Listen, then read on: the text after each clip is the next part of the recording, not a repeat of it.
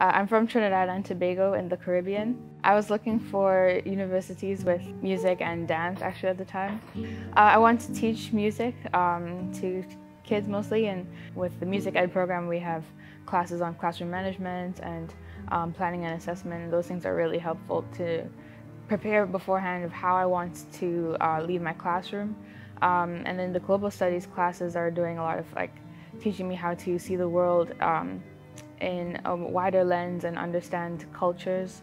Uh, I play violin in the orchestra, Belhaven Orchestra, and I play viola in the Belhaven Quartet. It's been really growing and stretching. Um, the orchestra music we get is always uh, really advanced and challenging.